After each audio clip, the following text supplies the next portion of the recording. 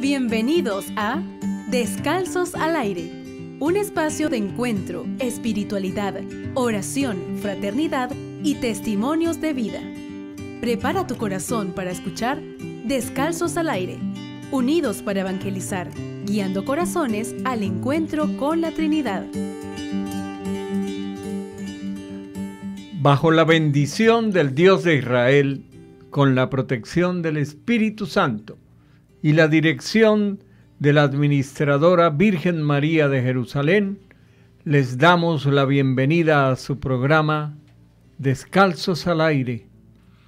Gracias a las personas que nos sintonizan a través del dial 101.7 FM y en el norte del estado a través de la 95.7 FM. En nuestra página web www.radionatividad.com puedes sintonizarnos también en vivo en cualquier parte del mundo.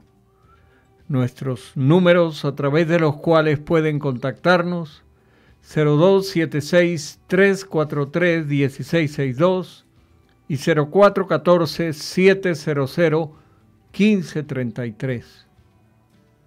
Este programa lo realizamos Isaura Cedeño e Iraima García, certificados de locución de la Universidad Central de Venezuela 52.760 y 52.772 y quien les habla, Fernando Colmenares, certificado de locución 52.764.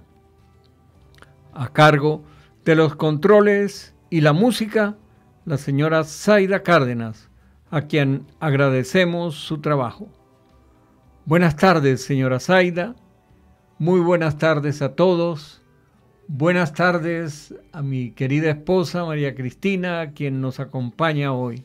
Buenas tardes. ¿Qué celebramos el Día de Todos los Santos? Ayer, primero de noviembre, los cristianos celebramos el Día de Todos los Santos.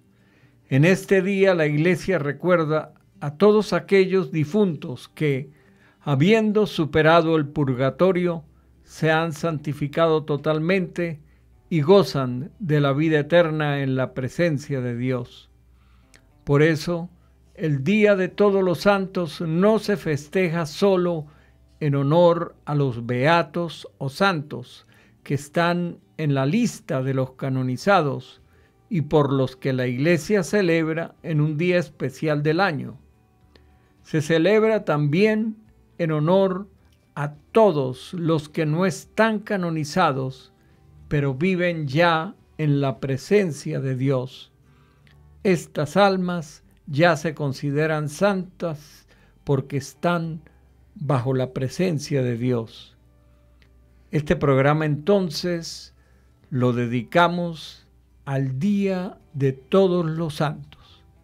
Vamos a una pausa musical.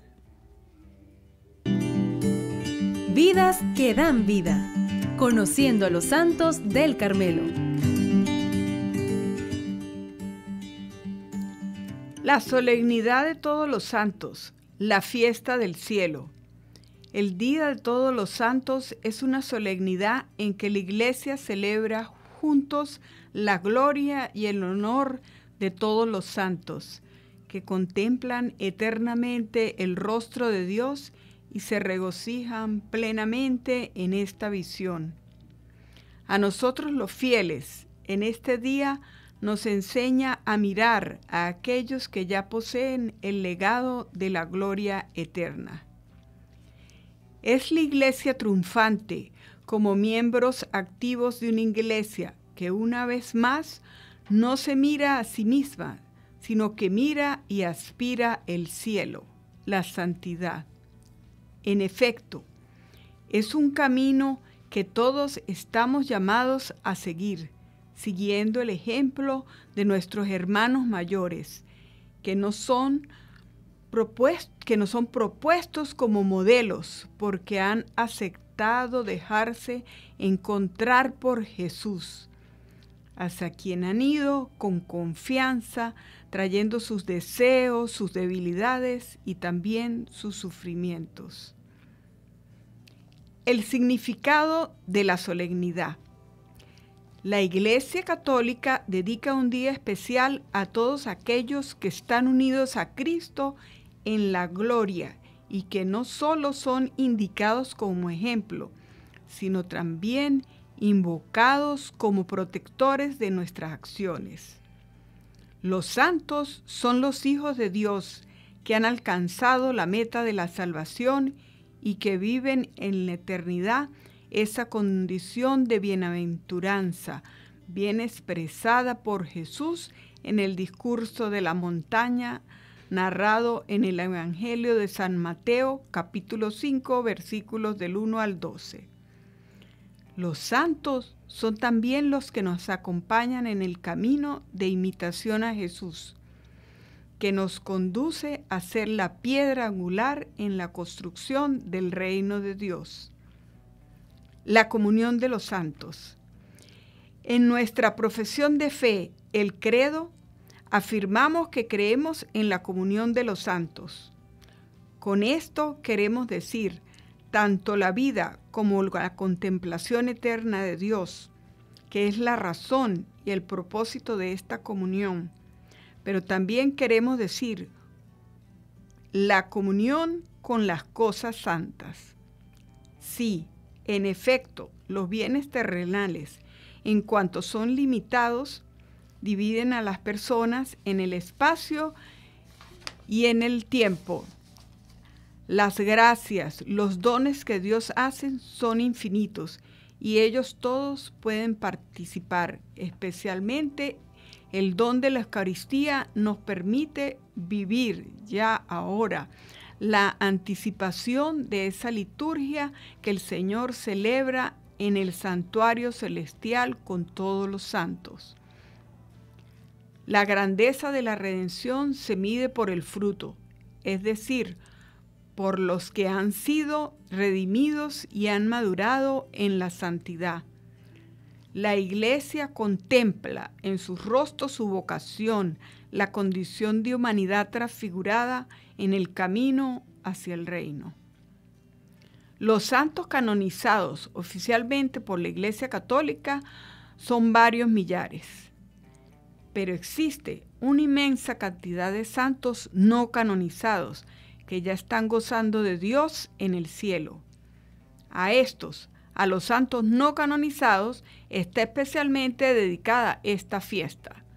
La Iglesia busca reconocer la labor de los santos desconocidos que arriesgan su vida por la justicia y la libertad de forma anónima.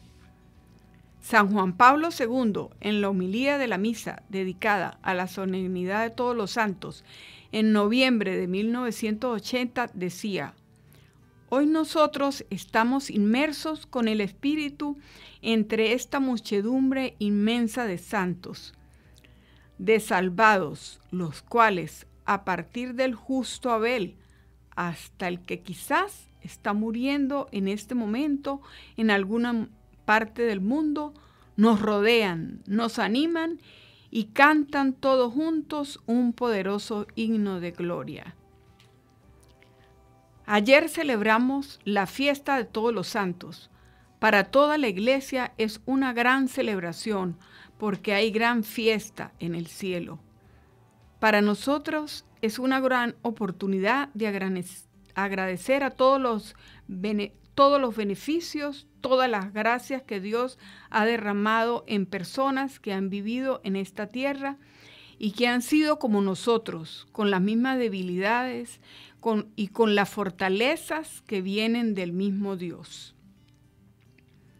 La iglesia ha instituido la fiesta de todos los santos por las siguientes razones. Primero, para alabar y agradecer al Señor la merced que hizo a sus siervos, santificándolos en la tierra y coronándolos en la gloria del cielo.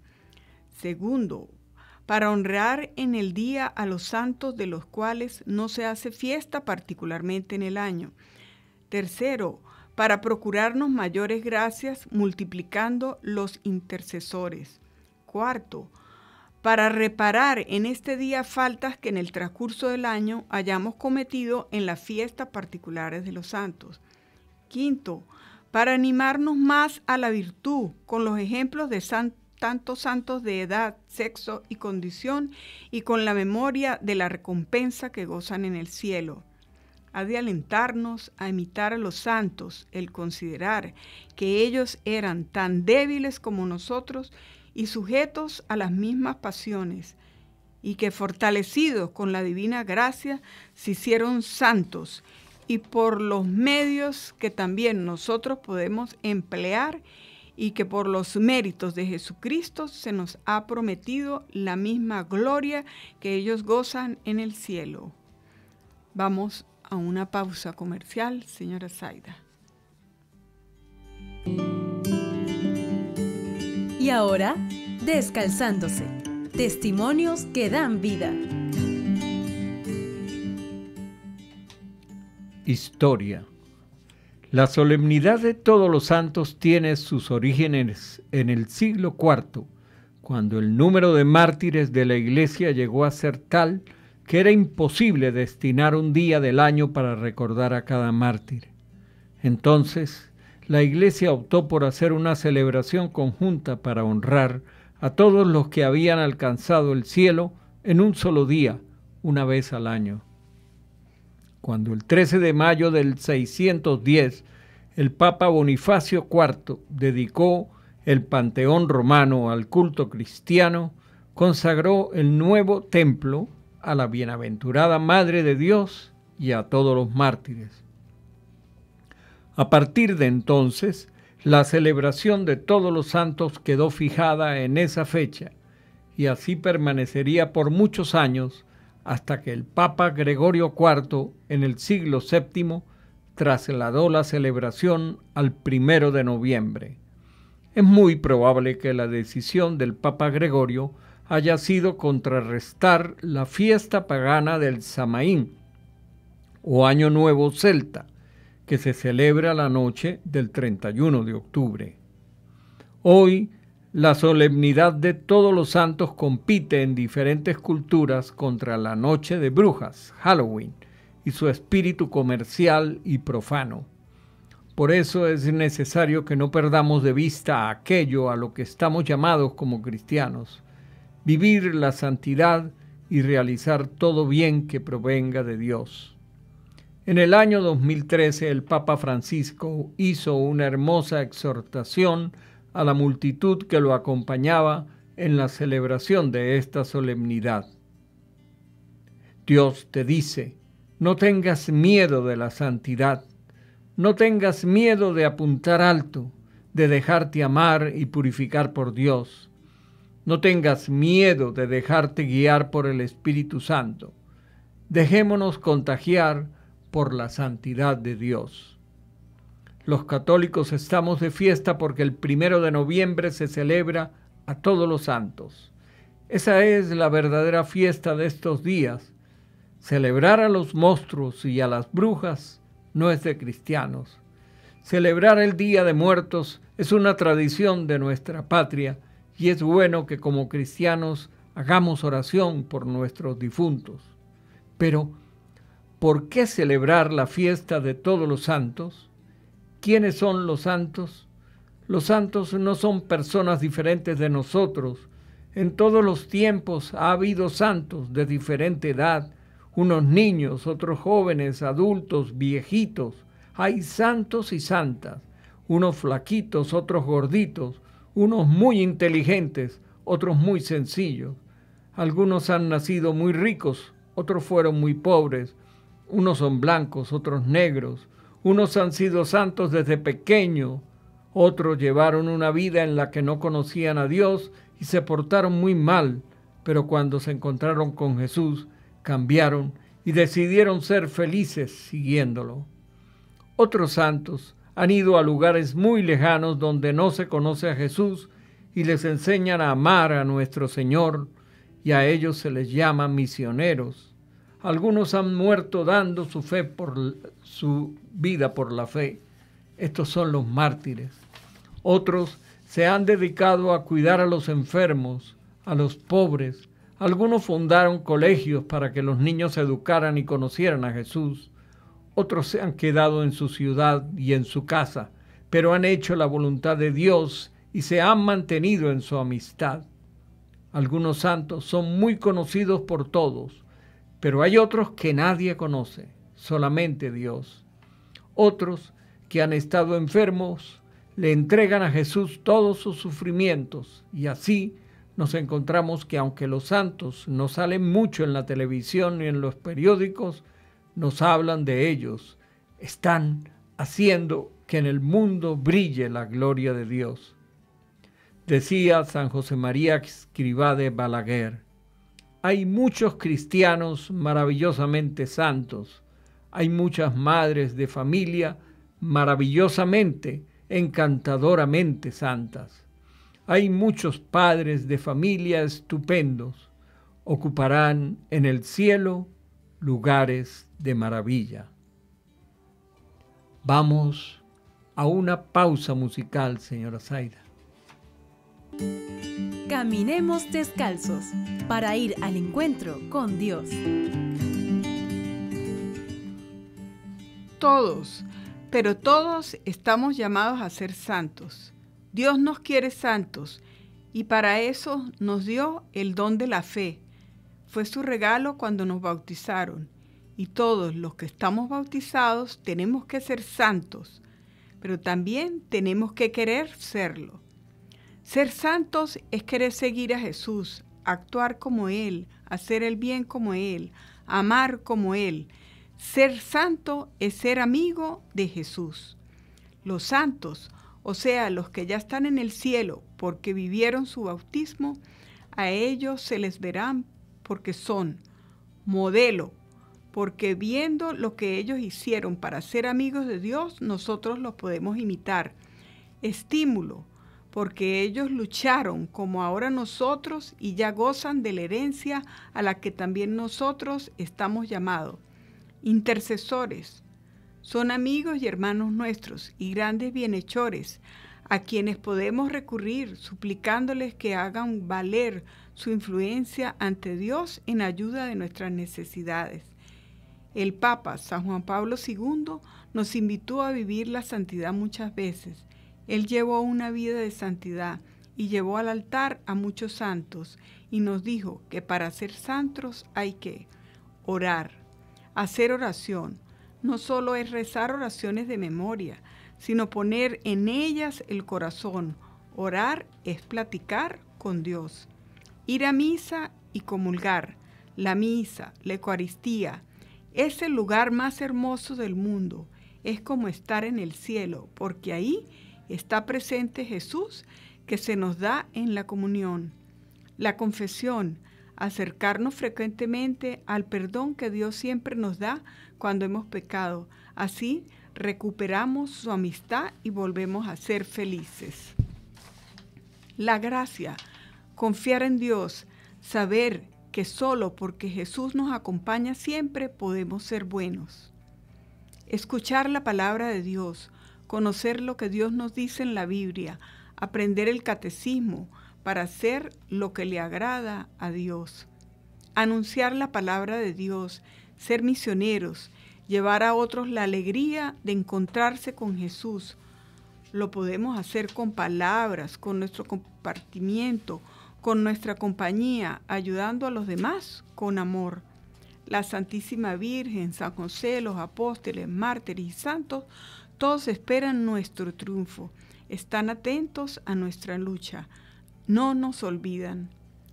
Vamos a una pausa musical, señora Zaida.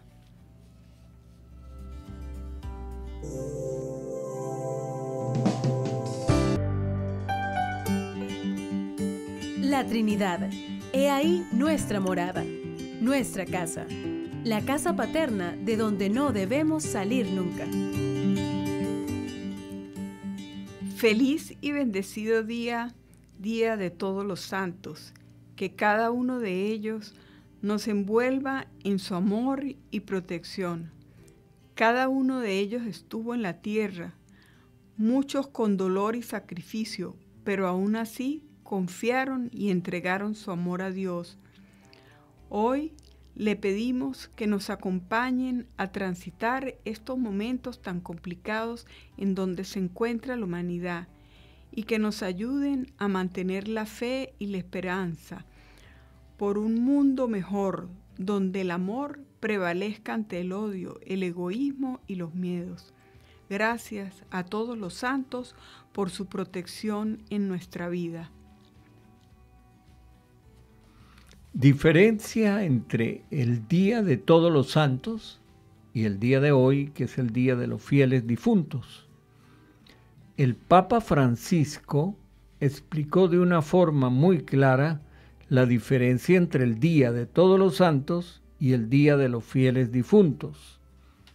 Dice él, el primero de noviembre celebramos la solemnidad de todos los santos el 2 de noviembre, la conmemoración de los fieles difuntos. Estas dos celebraciones están íntimamente unidas entre sí, como la alegría y las lágrimas encuentran en Jesucristo una síntesis que es fundamento de nuestra fe y de nuestra esperanza. En efecto, por una parte, la iglesia peregrina en la historia se alegra por la intercesión de los santos y los beatos que la sostienen en la misión de anunciar el Evangelio. Por otra, ella, como Jesús, comparte el llanto de quien sufre la separación de sus seres queridos y como Él, y gracias a Él, hace resonar su acción de gracias al Padre que nos ha liberado del dominio del pecado y la muerte. Entonces, estas diferencias entre el día de hoy, que es el día de los fieles difuntos, el día para recordar a nuestros familiares, a nuestros amigos, a todas las personas queridas que ya están, eh, digamos, que ya han partido, unas que están en el purgatorio, otras que ya están en la presencia de Dios, que es el día de hoy y ayer que conmemoramos el día de, de todos los santos. Titi, no sé si quieres agregar algo antes de finalizar este programa.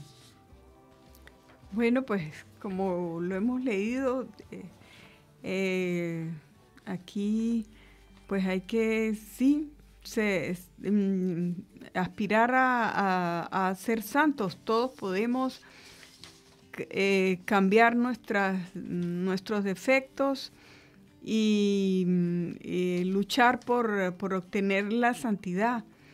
Eh, hay personas que, vidas que uno ve que tenían tantas dificultades y de repente Dios eh, en cualquier momento las toca y podían haber sido eh, drogadictos, fumadores, tener cualquier tipo de vicio o quizás la, la fama y de repente sienten el llamado de Dios y eh, eh, es un llamado especial que Dios le da a la persona. Hay que estar dispuestos a ver, bueno, cuándo, cuándo es que está esa, esa campanita tocándote en los oídos y entonces ahí eh, en tu situación en la que estés, pues, pues eh, cambias y es Dios el que te lleva a, la santidad.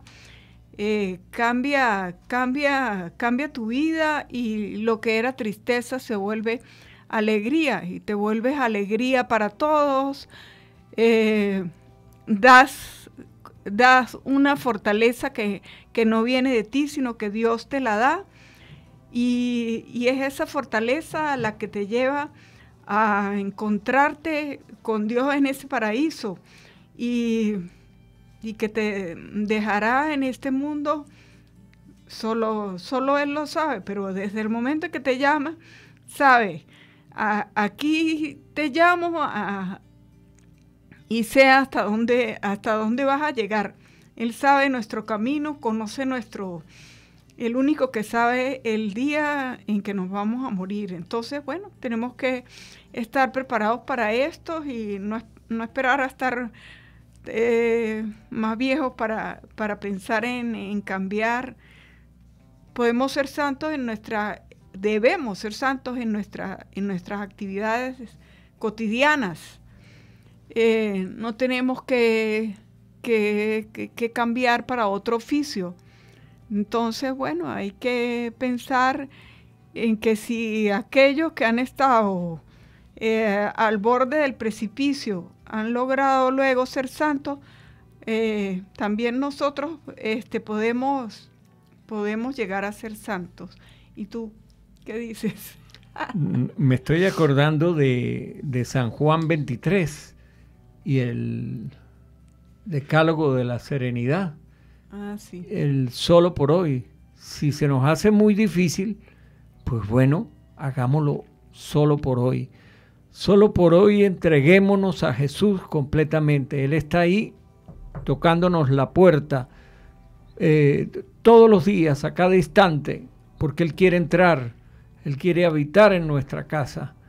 Pero tenemos que limpiar esa casa, tenemos que sacar las alimañas, tenemos que sacar eh, todo lo que nos aleja de Él.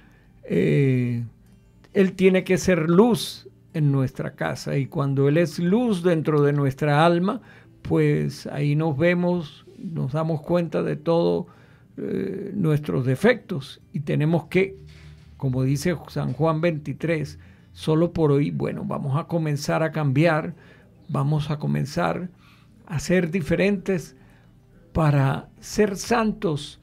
Lo hemos, nos ha marcado Jesús desde el principio con el bautismo.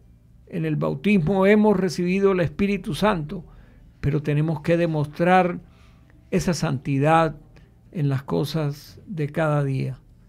Bueno, vamos a despedirnos por el programa de hoy, no sin antes invitarlos a la Eucaristía Dominical en nuestra casa de encuentro y oración al Seminario San Juan de la Cruz a las 11 de la mañana. En Potrero de las Casas, pasando Palmira, vía Casa del Padre.